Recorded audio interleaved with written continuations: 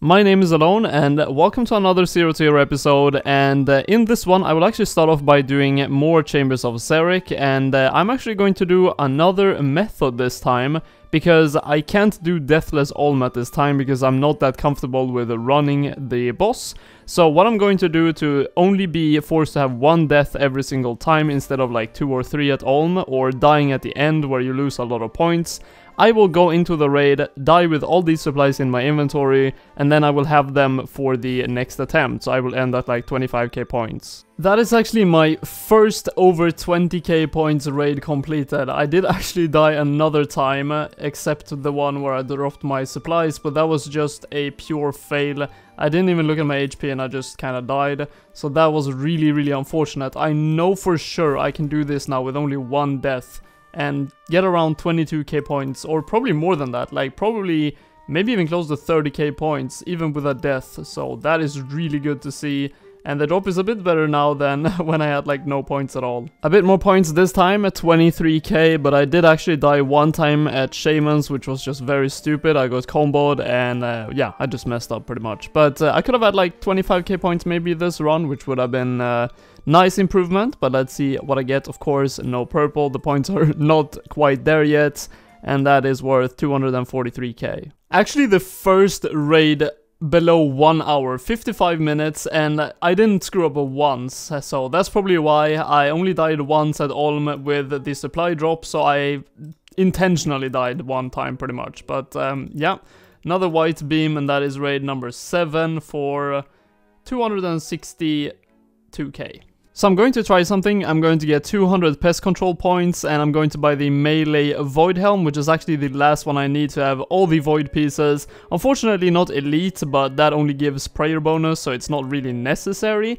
But I'm going to try to then sell my Zamorakian Spear, my Bandos chest plates, and maybe try to get enough money for a Dragon Hunter Lance, because on the Mage hand on Olm, I'm doing so much damage, but on the melee hand, I'm really struggling with the Zamorakian Hasta, so I will try to, both with less switches having Void, and with the Dragon Hunter Lance, if I can get my hands on it, Maybe I can do Olm without dying, but we will have to see how that works. Actually, I thought that the Elite Void only gave a uh, prayer bonus and no other bonuses, but it actually does give accuracy and damage bonus to ranged and magic, primarily to range. So I do need to get that, and because of that, I'm completing the Western Medium and then Hard Diaries, and one of the steps in the diaries required me to do Eye of Glouphrie, so that is now completed, and if I go to my diaries, oh, 50 rune crafting for that as well, not bad. I am pretty much almost done with the medium one, I only need to do the Chompies, and you can see now the Eye of Glouphrie, I need to turn a small crystal seed into a crystal saw, and then I just have the hard ones to do, which I have other requirements for, so it shouldn't be too bad, and then I just have to get 400 points for the elite. I did not enjoy hunting these uh, 300 Chompy birds, but that is all the ones completed, and uh, that is the medium and hard diaries completed. I am pretty sure if I go down here, it should be both the medium ones, the medium ones done, and then the hard ones all the way down here. 300 kills done, and I just have to claim the reward now, so perfect. As you always do with the reward lamps that you get from the diaries, you always put them on rune crafting, so I'm going to do that right now. Let's see the banner here for the hard diaries. Not the most impressive thing, but uh, these are really good. So let's put them on runecrafting for 15,000 experience and then also the second one for, I think, 7.5k. So like 22.5k runecrafting experience. Yeah, definitely worth it. Two runecrafting levels from that. And that's it. That's the end of the Void grind. 204 points and I already have the Void top. So let's just get the leggings now and we have full Elite Void. Yes, please. That is now full Elite Void. So the plan is to sell some items and be able to buy the Dragon Hunter Lance and a BGS. And I think that if I put all this into the price check, which are items I don't need for raiding, it's 109 mil, so if I, I think with that money I should almost exactly be able to buy both the BGS and the Dragon Hunter Lance. So here we now have the upgraded raid setup with the magic gear, of course with the trident, and then the ranged gear with the dragon crossbow and then of course a blowpipe. The laggiest world ever. Uh, that was so painful. it took like one second delay between every single thing I did, but I did actually kill Olm with only one death on uh, the supply drop, so no purple though, unfortunately. Still doing over one hour raids unfortunately, but um, I didn't use all of my brews at least this time, and I got 25k points, and that is not sure what uh, raid number, but let's see what we got. Obviously, it's going to be a white beam with the points I'm getting, I guess. But that is uh, raid number 9. But I do have about a 3% chance of getting a purple, I think, with the current points that I get. 300k, pretty average. I actually do feel like I kind of start to understand a bit of how the head turning works, so I am actually avoiding some hits, I'm taking less than I am at least earlier in the video, and because of that I swapped to Brimstone Boots and also an Amulet of Fury, and I changed away a lot of the items that I had in my inventory, so I can actually have place for more brews. And I'm actually going to try to do a Deathless Olm, though I'm going to expect to die, on the first attempts that I do it, but I can always go in there and then just finish it off anyways. I do feel like it's, feel like it's actually worth trying it rather than uh, getting just 25k point kills every single time forever. Okay, I still died, but I did get decently far, I would say. I got to the uh, last phase before the head phase and uh, got pretty far on the hands as well. But that is again a white light for the 10th kill with 24,000 points. Ooh, Dark Relic. That is experience. Let's put that into probably agility, I would say. How much agility experience is that? 10,500. I'll take a quick break from raiding and do some Slayer. I actually want to really get a Hydra task now that I have a Dragon Hunter Lance. And just in general, I wanna hunt for boss tasks to uh, just in general do bossing. I really feel like it right now, and I'm really happy with uh, getting that 10 solo Chambers of Xeric done. And of course, I am not really good at raiding, but I feel like doing 10 at least with 20k points per, uh, per raid in the end is not too bad. And I want to do some other bossing now. I have actually never done Black Dragons in the Evil Chicken's Lair. That is uh, quite a meme task, I would say. Look at this absolutely beastly weapon. 45 hits. I actually hit a 54 before. Uh, 17. Let's uh, let's get a big hit here. 18. Okay, that's not impressive. 20. It's it's hitting very consistently though. I really, really enjoy this weapon. Any dragon task in the future is going to be, oh, 50. It's going to be so, so, so nice. Superior monsters in the uh, Prifddinas Slayer dungeon actually always drops crystal shards now. It's a pretty recent update, so doing Slayer here is actually not that bad. 182 Hydras. Let's use the Dragon Hunter Lance. This is going to be interesting. I started with 500 KC and I'm uh, now at 523, so I've done 23 melee kills with the uh, Dragon Hunter Lance, but look at this, 3 minute kill, the other one was actually 2 minutes, so that was a fast one, 239, 202, so they are pretty inconsistent compared to the blowpipe, which is very very consistent, and I would say sometimes it's better than the blowpipe and sometimes it's worse, so with my current setup, I would say it's about the same. So I'm just going to go back to the blowpipe because it actually uh, is easier to do that as well.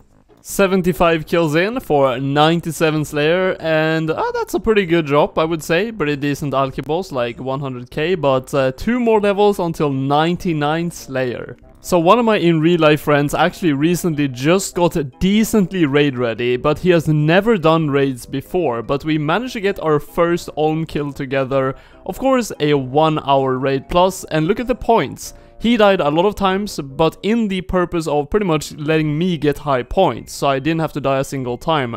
So I actually got 33,000 points and we will be doing more duos in the future and he will learn Olm and we will be able to both never die in duos, which is so nice. He actually uh, lended me his uh, Armadyl chestplate and chain skirt just to try it on one trip of the Alchemical Hydra. I just want to see if it's a big difference compared to the uh, Karil's items and then I'll give them back. Hey, finally, I got a drop with 46 kills left on the trip. That's like 140 kills for a Hydra leather. I think that's my fourth or third third leather on the Alchemical Hydra.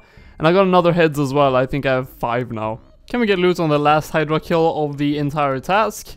Nope, blood runes are not bad though, but uh, yeah, 682 kill count now all the way from 500. As a matter of fact, I have 965 cave kraken kills, so this task will actually get me above 1k. And I still don't have the pet, but I think the uh, drop rate is like 1 in 3k, so not there quite yet. Very early Trident of the Seas, 1 mil drop pretty much, because it is a full Trident on kill number 974. Have a look at that, KC over 1000 now, and no pet this run, but uh, 580 tasks, so 20 more and I will get that big 600 which I will do on Konar. It took some time, but this is my second 99 for the entire account. 99 ranged has now been completed and that means my skill capes are now trimmed because my only other one was hit points and I'm actually very close to 99 strength as well, only 559k experience to that, so soon 399s in combat, very nice. My combat level right now is a 120. And of course, uh, now with 99 ranged, we have to get the skill cape. That is now a trimmed skill cape. I have two of them, hit points and ranged. Let's see how this looks. It actually fits very good with Karil's. Might be a skilling outfit in the future, so yeah, very happy about that. So my current raid KC is 13 and I just bought, by the way, a dragon pickaxe because I got some money back and uh, now I have the dragon pickaxe ornament, which looks very nice. Small upgrade there for raids, but I do want to end on 15 raids done, so I will do two solos now. So let's see if we can get something. Just slightly below one hour raid. Let's see what we get for raid number 14. Another yellow light unfortunately. But how much is it going to be worth?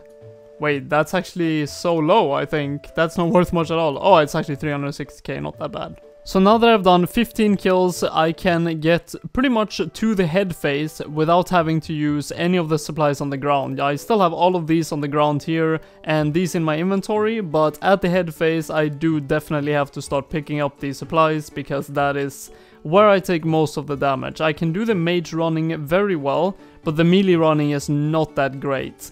And it, it is definitely what I have to practice on, but let's see. Another white beam for number 15 raid. Let's see what we get.